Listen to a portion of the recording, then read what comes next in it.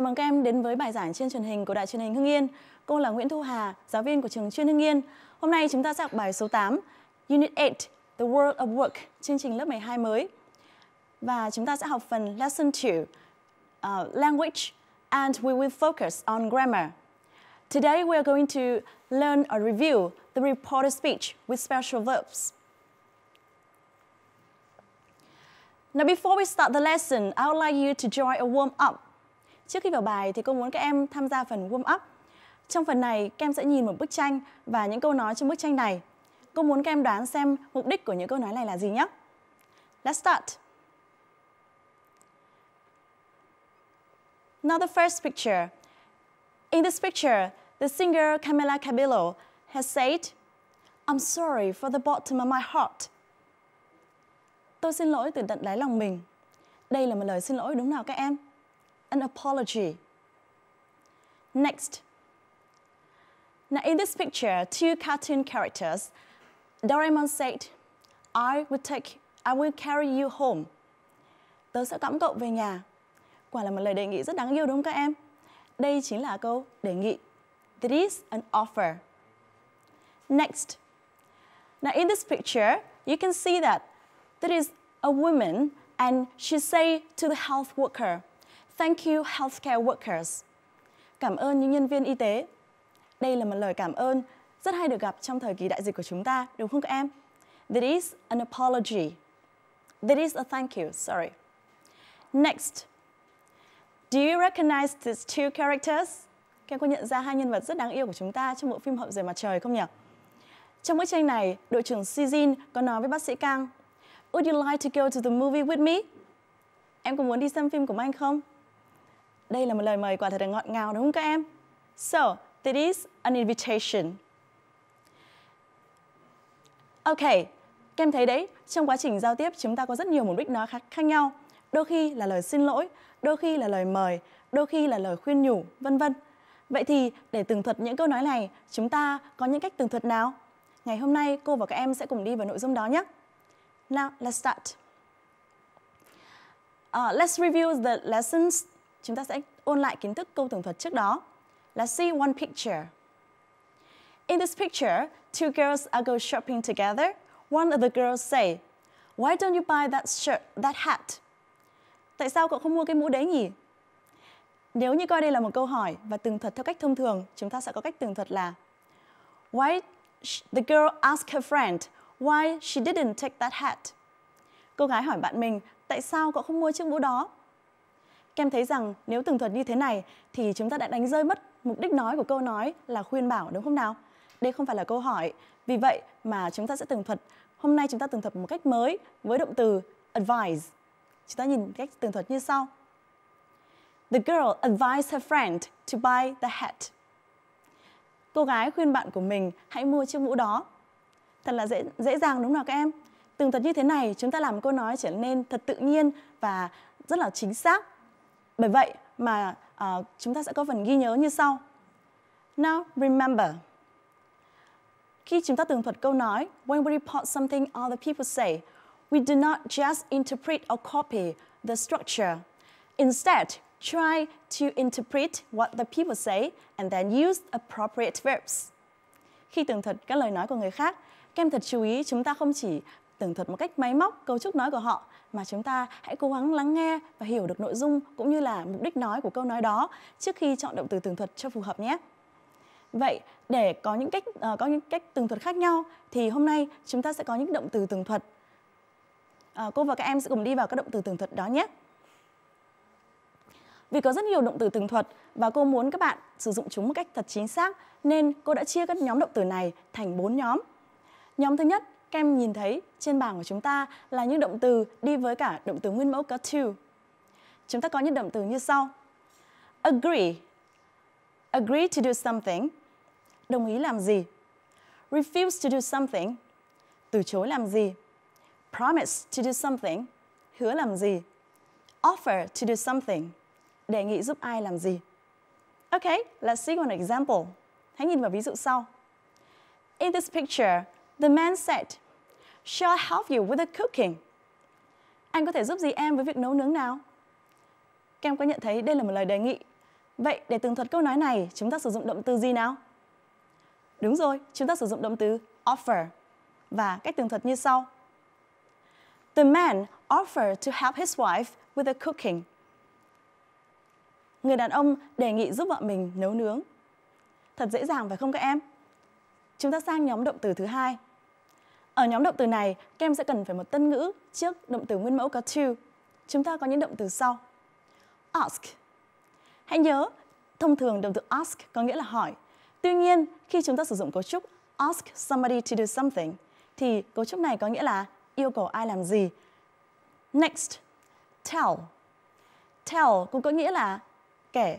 Và trong trường hợp chúng ta sử dụng cấu trúc tell somebody to do something thì nó có nghĩa là bảo ai làm gì, yêu cầu ai làm gì. Beg thì tha thiết hơn, có nghĩa là nài nỉ, cầu xin. Order là ra lệnh. Advise somebody to do something, khuyên ai làm gì. Remind somebody to do something, nhắc nhở ai làm gì.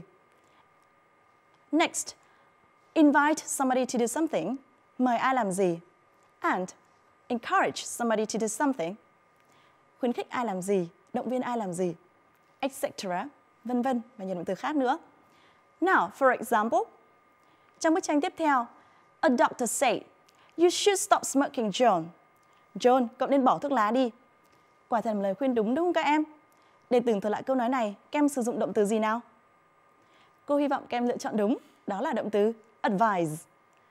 Okay, let's see. The doctor advised John to stop smoking. Bác sĩ khuyên John không hút thuốc nữa.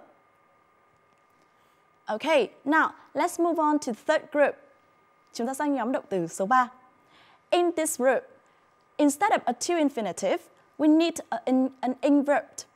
Trong nhóm động từ số 3, các em sẽ cộng động uh, chúng ta sẽ sử dụng invert làm bổ trợ cho động từ tường thuật nhé. Hãy xem chúng ta có những động từ gì nào. Suggest đề nghị admit admit thú nhận deny chối bỏ thank somebody for. Cảm ơn ai về điều gì?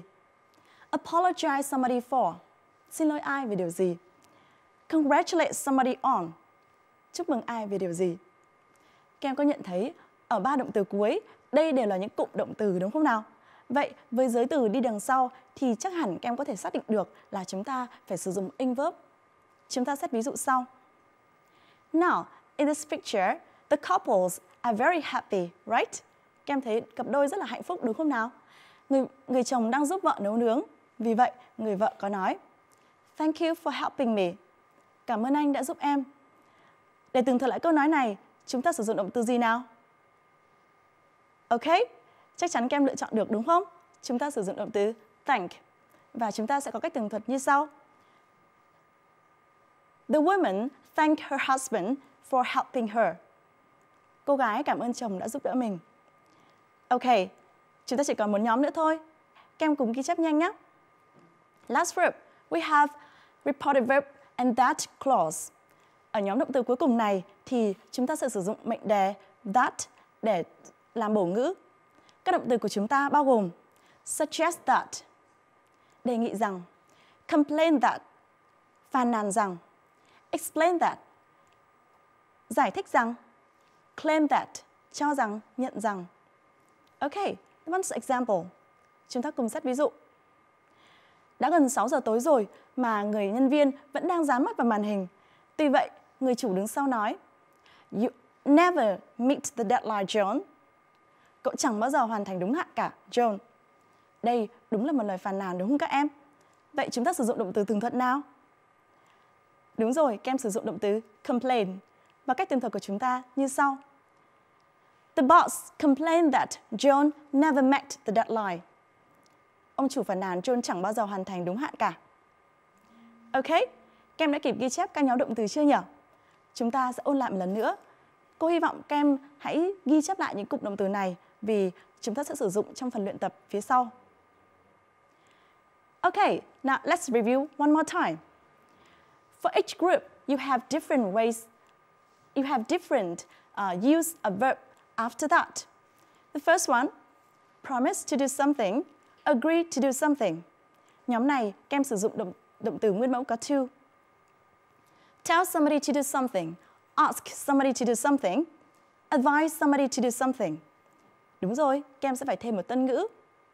Next, admit, deny, suggest and thank for. Các em có nhận, nhận ra động từ thank for cần một ing verb theo kèm không nhỉ? Đây chính là nhóm đi với động từ có ing ạ.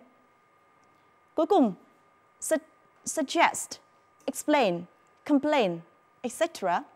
These verbs go with a that clause. Okay, I would like you to note the things in your notebook before we move on to the second part, practice. Kem cùng lấy giấy bút và vở ghi. Chúng ta sẽ dở sách trang giáo khoa trang số 33, phần language. Exercise 1. In this exercise, you are going to rewrite what other people say and using the verbs in uh, given with the correct form. Trong bài tập này, các em được yêu cầu tường thuật lại những câu cho trước sử dụng một trong bốn động từ. Các em nhớ hãy sử dụng đúng dạng của các động từ này nhé. Chúng ta có các động từ sau.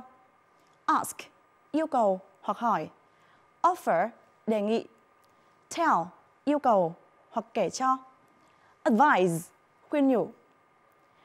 Để tường thuật lại, cô hy vọng các em sẽ cùng với cô nhìn thật kỹ vào những phần gạch chân của các câu. Đây là những phần gợi ý chúng ta xem mục đích nói của các câu là gì. Các em hãy cùng nhìn thật kỹ nhé. Và sau đó cô sẽ để dành cho các em một chút thời gian để các em hoàn thành vào trong vở trước khi chúng ta chữa cùng với cô giáo.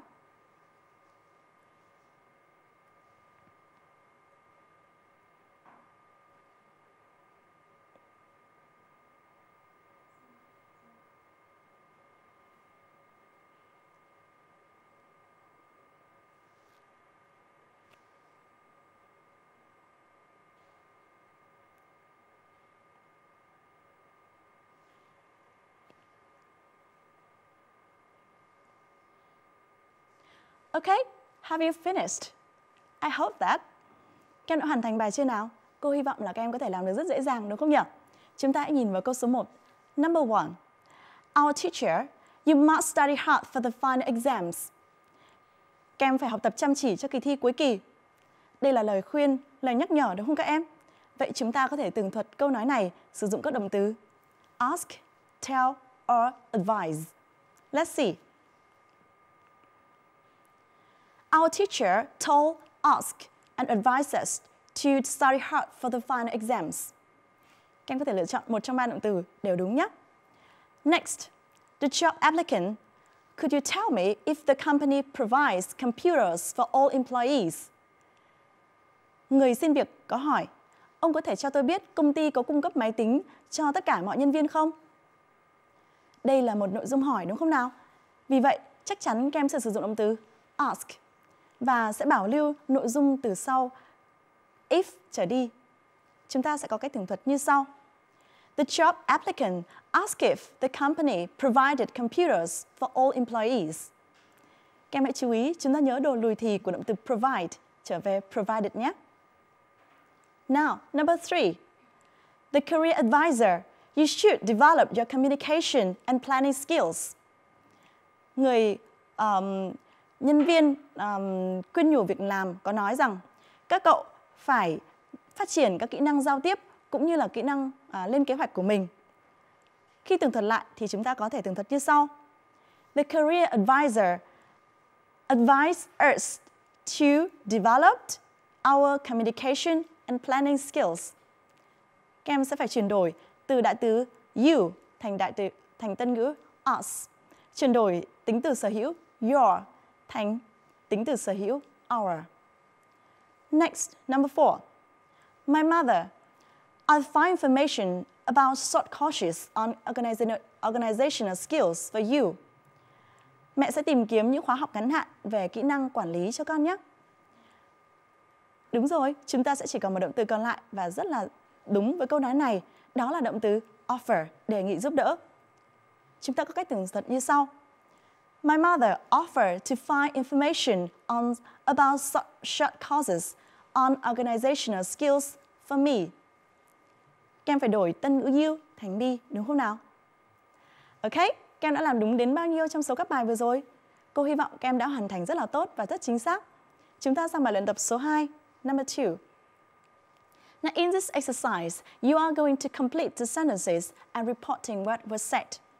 Trong bài tập này, các em cũng tường thuật lại những câu nói trực tiếp trước đó và sử dụng những gợi ý cho trước. Chúng ta hãy để ý vào phần màu vàng. Đây là những động từ cho trước. Để dễ dàng hơn, cô cùng với các em sẽ ôn lại cách sử dụng của các động từ này nhé. First one, invite. Các em còn nhớ cách dùng của nó không nào? Đúng rồi, invite somebody to do something. Next, ask.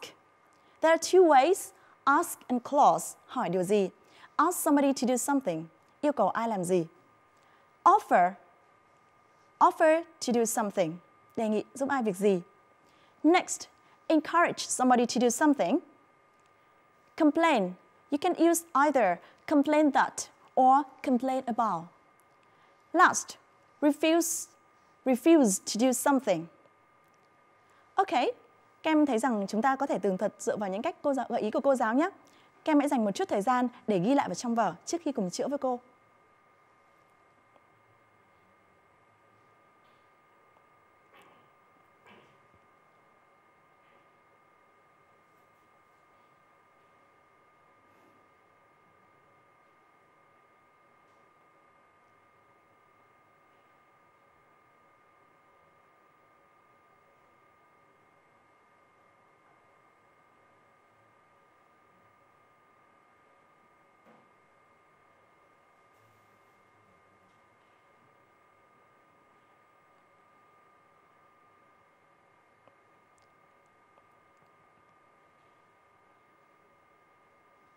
Okay, have you finished? Các em đã hoàn thành bài chưa nào? Cô rất hy vọng là các em đã làm thật là tốt.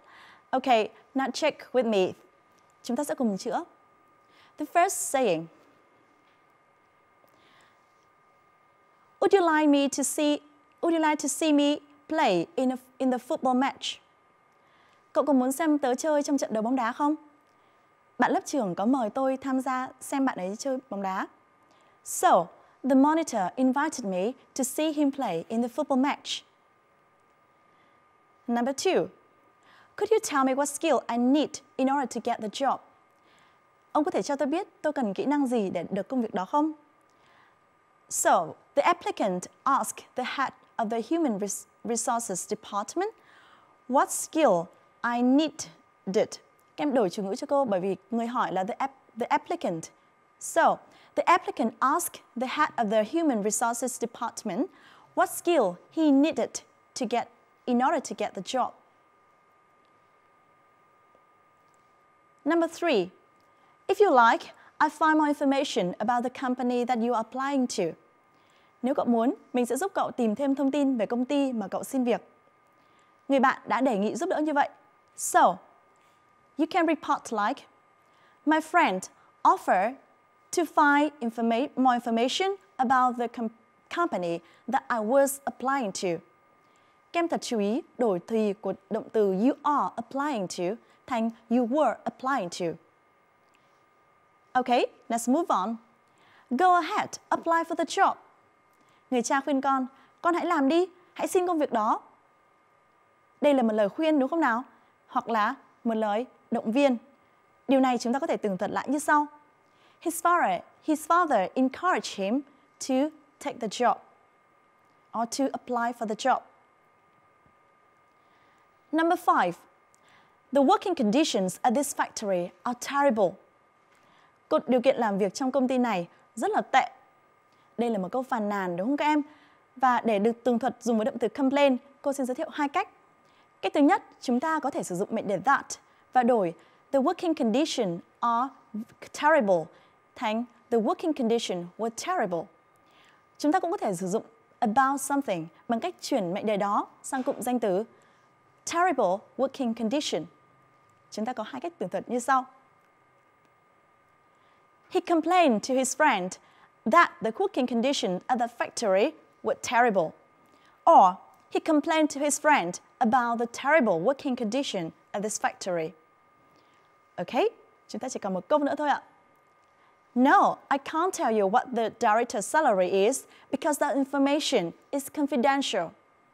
Không, tớ không thể cho cậu biết được mức lương của người quản lý vì đó là thông tin tối mật. Các em thấy đấy, đây là một câu từ chối Và với động từ refuse to do something, chúng ta có thể tường thuật thành She refused to tell what the director's salary was because that information was terrible, was confidential. Ok, các em đã hoàn thành được bao nhiêu trong số các bài ở trên? Cô hy vọng là các em làm đúng. Các em thấy sử dụng các động từ tường thuật như trên sẽ giúp cho cách tường thuật của chúng ta trở nên rất là nhẹ nhàng và tự nhiên đúng không nào? Các em nhớ sử dụng những động từ tường thuật này để tường thuật lại câu nói trong tình huống thông thường nhé. Còn cô sẽ giới thiệu với các em thêm một số bài tập khác nữa. Vì mệnh, uh, kiến thức của câu tường thuật cũng là một trong những kiến thức rất quan trọng Ờ, của ngữ pháp tiếng Anh bao gồm câu điều kiện, ờ, câu bị động, rồi mệnh đề quan hệ, vân vân. Chính vì vậy mà các em sẽ rất hay gặp những câu hỏi về nội dung kiến thức này trong các kỳ thi, đúng không nào? Bây giờ chúng ta sẽ đi vào những câu hỏi tương tự như vậy để xem chúng ta sẽ làm được đến đâu nhé. Let's practice further. Now, in the first practice, I would like you to fill in the gaps with suitable option. Trong bài này, cô muốn các bạn hãy điền đúng, chọn từ đúng để điền vào vị trí. Chúng ta nhớ hãy vận dụng những kiến thức mà chúng ta vừa học xong nhé. I will give you some time to think and to choose. Các em hãy suy nghĩ và ghi đáp án lại.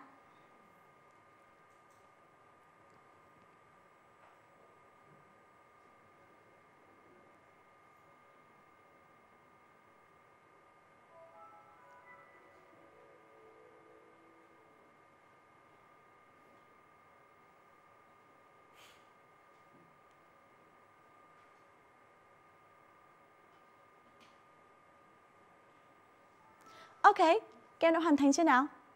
I really hope that it is easy for you. Now, let's check. Let's check with me. In the first sentence, why don't we eat out tonight? My dad said. Sao chúng ta không đi ăn ngoài hôm nay nhỉ? Bố tôi nói. My dad, blah blah blah, eating out that night. Now, among the option, admitted, offered, promised, and suggested, there is only one that use and is suitable with this sentence. Yes, that is suggested. Suggested có nghĩa là đề nghị, đúng không các em? Vậy đây chính là đáp án của chúng ta. Answer is D. Next.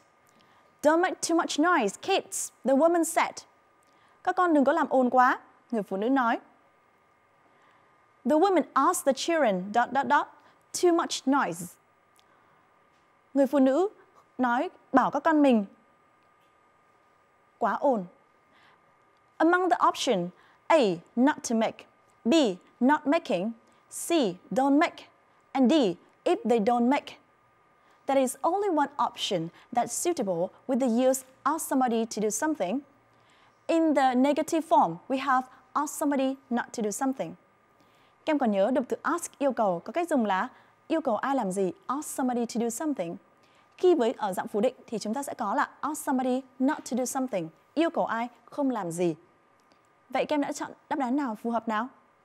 Đúng rồi, đáp án của chúng ta chính là The woman asked the children not to make too much noise. A, đúng không nào?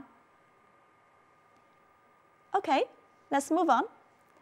Number three, I'd like you to tell the truth, Linda said. Tôi muốn bạn nói cho tôi sự thật, Linda nói. Linda wanted something, her to tell the truth. Now, among the option to tell, me to tell, and me telling, and me tell, there's only one option that is suitable, wanted somebody to do something. Các em nhớ động từ want, muốn. Want somebody to do something, muốn ai đó làm gì. So, there is only one option, B, wanted me to tell her the truth. Là đúng thôi. Ok? Vừa rồi chúng ta có 3 câu và các em đã làm xong. Chúng ta sẽ sang 3 câu tiếp theo cũng cùng với chủ đề này.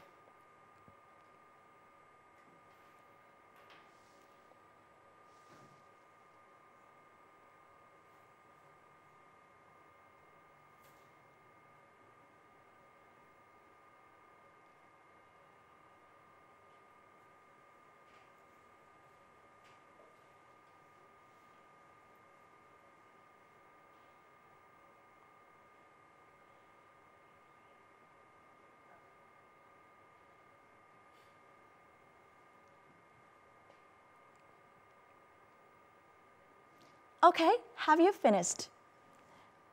Cô cho các em một chút thời gian như vậy có đủ không? Cô hy vọng là các em đã kịp làm xong các câu nhé. Now, let's check together. Bây giờ hãy cùng chữa với cô nào. Number four. Let me help you with your luggage, said Mai. Hãy để tớ giúp cậu mang hành lý nào. Mai nói. Mai insisted on. Now remember, we have insisted on, có nghĩa là nài nỉ làm gì. After the preposition on, you need an ing verb. Sau giới từ on, các em cần phải một động từ có ing. Để đảm bảo nghĩa, chúng ta cần phải đổi your thành my. Đúng rồi, vậy chúng ta sẽ có đáp án là gì ạ? My insisted on helping me with my luggage. The answer is B. Next, I hear you have passed your exam. Congratulations, my teacher said. Cô vừa thấy em hoàn thành vượt qua kỳ thi của mình. Chúc mừng em. Đây là lời chúc mừng, đúng không các em? My teachers congratulated. Remember, congratulate used with congratulate somebody on doing something. Các em nhớ động từ congratulate có cách dùng là congratulate somebody on doing something. Vì vậy mà câu này được tường thuật thành My teachers congratulated me on passing, passing my exam. The answer is D. Very good. Now, let's move on the last one. Chúng ta sang câu cuối cùng. I didn't take part in the robbery, said Bob. Tôi không tham gia vụ cướp đó, Bob nói. Bob denied. Now, remember last we studied about the verb deny. Các em còn nhớ cách dùng của động từ deny không nào? Đúng rồi, deny at in verb. So, we can report like this. Bob denied taking part in the robbery. The answer is A. Okay, have you got all the correct answer? Các em có bao nhiêu câu đúng trong số các câu vừa rồi nào? I hope that you got it very correctly. Cô hy vọng các em hoàn thành bài tập này thật chính xác. Now, there's one more thing that we also often meet in the exam. Còn một loại câu hỏi nữa mà chúng ta cũng rất hay gặp trong kỳ thi, đó là câu hỏi tìm câu đồng nghĩa với câu cho trước. Trong phần kiến thức câu tường thuật thì câu hỏi này lại càng được hay gặp hơn. Cô sẽ có 6 câu để thử thách các em. Các em hãy đọc thật kỹ câu gốc và tìm ra mục đích nói để tường thuật sao cho thật phù hợp nhé. I will give you some time to choose the correct answer.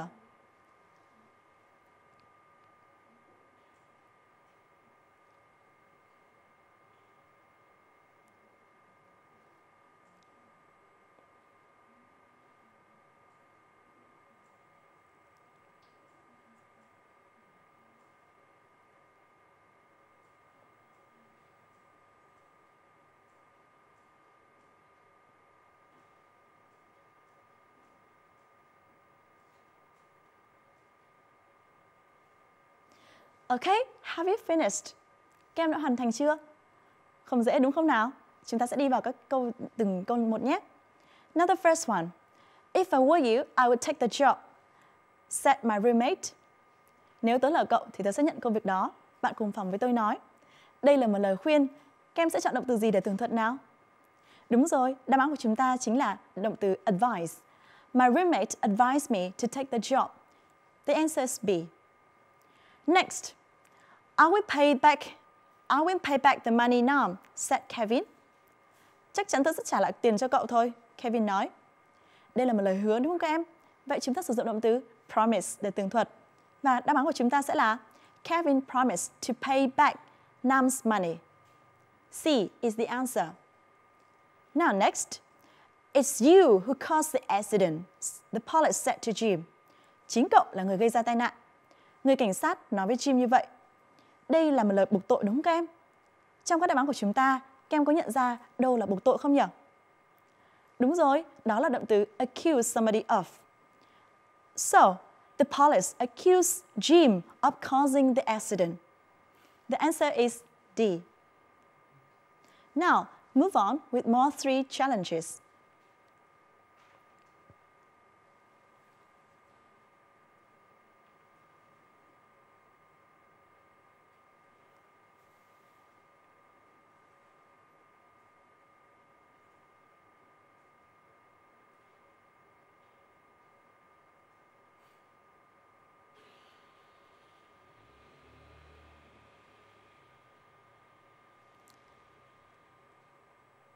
Okay?